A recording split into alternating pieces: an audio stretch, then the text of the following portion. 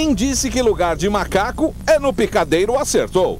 Isso porque até mesmo no circo da Fórmula 1 é possível encontrar uma legião de micos em alta velocidade.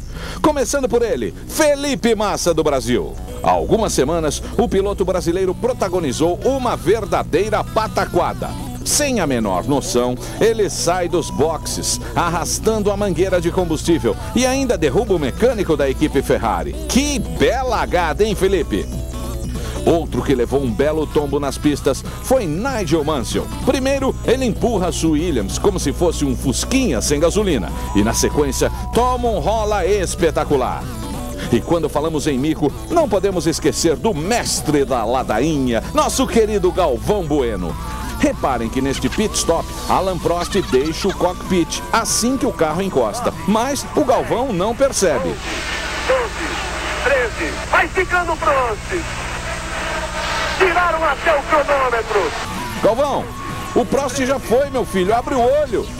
Por falar em olho, o glorioso piloto Eliseu Salazar só não ficou de olho roxo porque o seu capacete aliviou os poderosos murros desferidos por Nelson Piquet. E para fechar com chave de ouro, veja agora os companheiros de equipe Kleber Machado e Rubens Barrichello decepcionando a torcida brasileira e a pobre mãe do Rubinho, a dona Ideli. Dona Ideli feliz da vida vendo o filho ganhar a segunda. Eles vão para a última curva. Foi na última curva do ano passado. Hoje não, hoje não. Hoje sim. Hoje sim. Hoje sempre, caro Kleber Machado. É isso aí, pessoal. Semana que vem tem mais Meu Mico, Mico Meu.